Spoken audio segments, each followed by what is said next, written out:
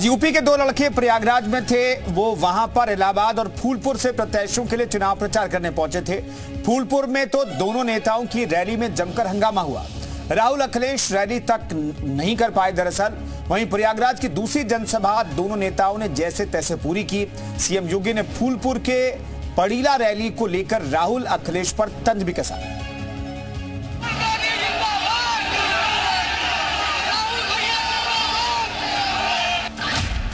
राहुल अखिलेश की rally.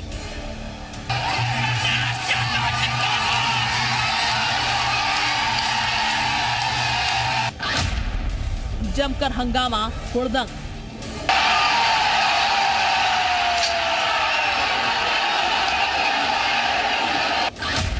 Joint rally में भीड़ बेकाबू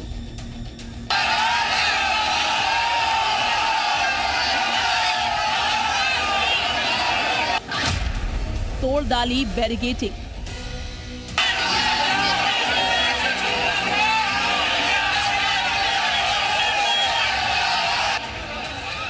और इस उत्पाद हंगामे और अराजकता की वजह से अखिलेश राहुल को बिना भाषण दिए लौटना पड़ा।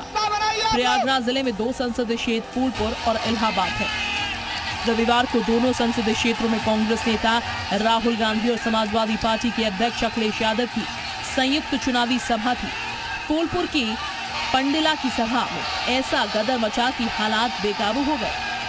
दरअसल राहुल अखिलेश के मंच पर पहुँचते ही समर्थक बेकाबू हो गए। उन्होंने सुरक्षा घेरा तोड़ दिया। मंच की तरफ़ पड़ने लगे। पुलिस ने रोकने की कोशिश की तो धक्का मुक्की शुरू हो गई। पुलिस ने लाठी चलाई तो वहाँ भगदड़ जैसे हालात हो गए। कई समर्थक चोटिल हो गए।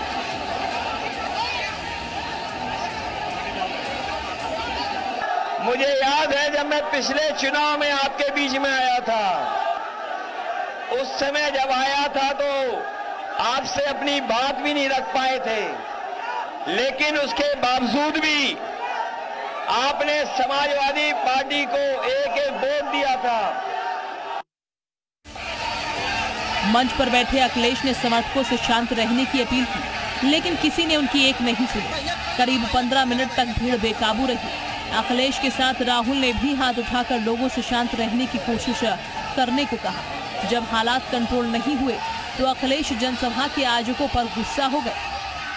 पंडिला की जनसभा में बेकाबू हालात पर सियासत शुरू है। सपा का कहना है कि विशाल जनसैलाब देख बीजेपी के होश उड़ गए। साथ ही अव्यवस्था के लिए सपा ने प्रशासन को कसूरवार ठहराया। सपा का कहना है कि साजिश के तहत यहाँ फोर्स की व्यवस्था नहीं की गई। इसीलिए अव्यवस्था हुई। मैंने सुना है दो लड़कों की जोड़ी यहाँ से बैरंग लौटी है। मैंने सुना है जिस जोड़ी को 2014, 2017, 2019 में उत्तर प्रदेश की जनता ने खारिज किया था वह एक बार ज़ोर अजमाइश करने के लिए आई थी। लेकिन फूलपुर ने उनको आसमान दिखा दिया है।